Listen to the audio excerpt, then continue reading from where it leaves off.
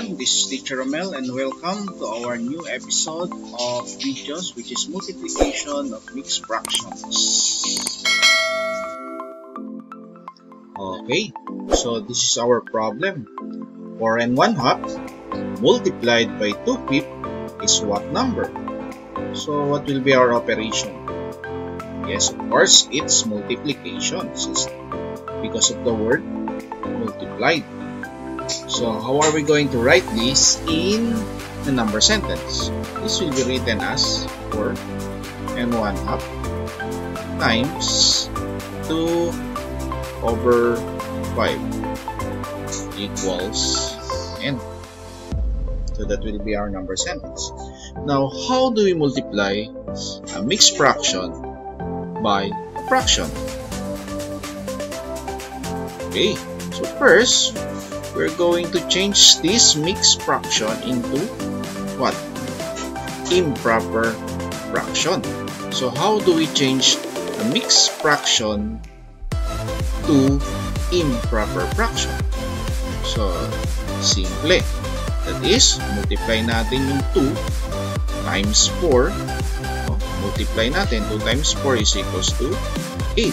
And then, 8 plus 1 that will give you 9 and then just copy the denominator.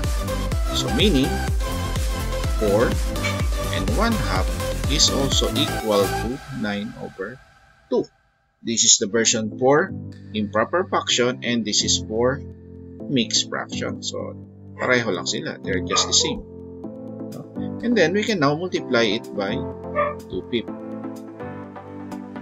okay so how do we multiply fraction by fraction? We just simply multiply the numerator and then multiply the denominator. So 9 times 2 is 18 and then 2 times 5 is 10.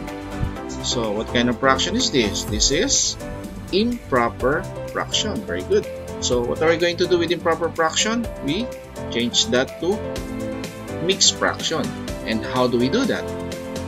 We divide very good. So, we divide 18 divided by 10. Dinidivide natin yan kasi mas malaki yung nasa taas kaysa sa baba. Diba? So, improper siya.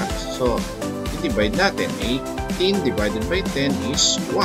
1 divided times 10, I mean, is 10. And then, 8 minus 0 is 8.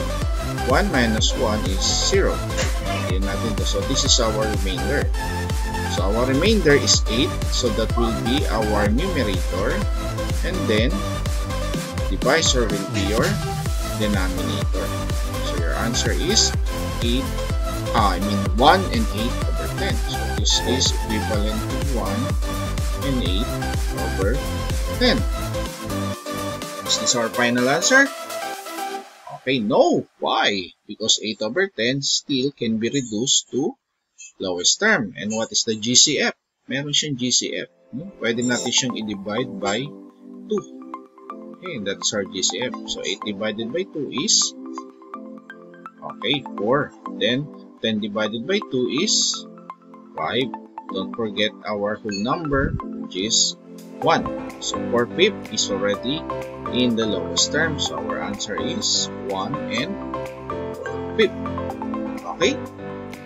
Any question? Easy lang, ba? So, we'll have more exercises. Okay, so our next problem is this one. So, the product of 3 and 1 third and 1 and 1 half is blank. So, what operation are we going to use with this kind of problem? Okay, that's multiplication. Why? Because the word product. Product is the answer in multiplication. Okay?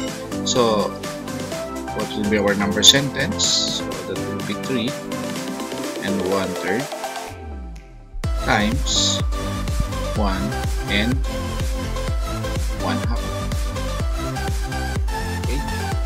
Oops. Yeah. So, before multiplying this, first we have to change this, what of this mixed fraction to improper fraction. So how do we change this? So again, we multiply the denominator by the whole number. So 3 times 3 is 9. Then add 1. So 3 times 3 is 9. Then plus the numerator which is 1 is equal to 10. Then copy the denominator which is 3. And then times 2 times 1 is 2. Okay, plus 1 is 3. So 2 times 1 is 2, plus 1 is 3. Then copy the denominator, which is 2. Then multiply. 2 times, uh, I mean 10 times 3 is 30 over 3 times 2 is 6. So again, this is improper fraction kasi mas malaki yung numerator niya sa denominator. So what do we have to do? We divide on 3. So 30 divided by 6. 30 divided by 6 is what? 5. 5 times 6 is 30. 30 minus 30 is 0. So the answer is 5 which is a whole number okay so this is our answer that's very easy right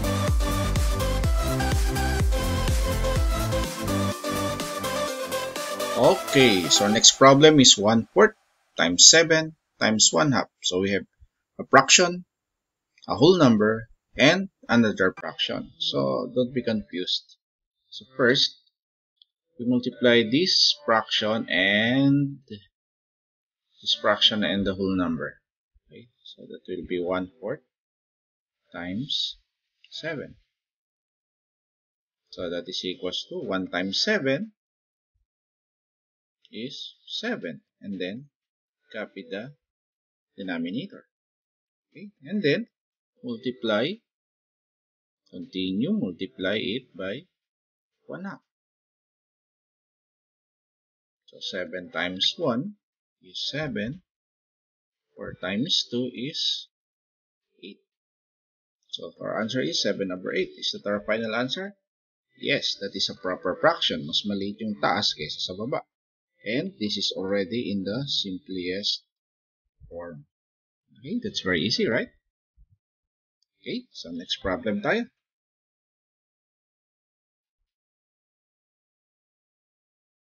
Okay, so next problem. We have 5 times 1 fourth times 7 and 1 half equals blank. Okay, so we have whole number, fraction, and a mixed fraction. Okay, let's see. Now, first, so we multiply this step by step. First, we're going to multiply 5 times 1 fourth. Tulad ng ginawa natin kanina. Okay, so it's very easy. So we'll just multiply this 5 times 1. That will give you 5. Then copy the denominator, which is 4. Again, that is 5 times 1 so multiply the whole number and by the numerator. 5 times 1 is 5. And then just copy the denominator which is 4. So there you go. And then multiply it by 7 and 1 half. Okay. Now can we multiply this fraction with a whole uh, mixed fraction? Okay, no. So first we have to change 7 1 half to improper fraction by multiplying the denominator by the whole number. So 2 times 7 is 14 and then plus 1 that will give you 15 and then copy the denominator which is 2. Okay, so again that is 2 times 7, 14 plus 1 that is 15. So over 2. And Then we're now ready to multiply. So 5 times 15, that will give you 75. Okay? Over 4 times 2 is 8. Now we have 75 over 8 is an improper fraction. So we have to divide. Okay. So divide natin. 75 divided by 8. That will give you what? Okay, very good. 9. So 9 times 8 is 72.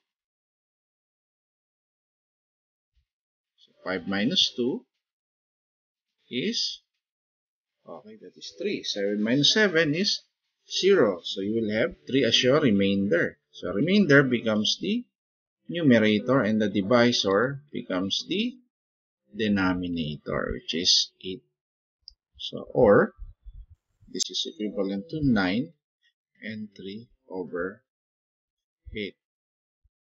Is 3 over 8 already in the simplest form? Okay, yes. So our final answer is 9 and 3.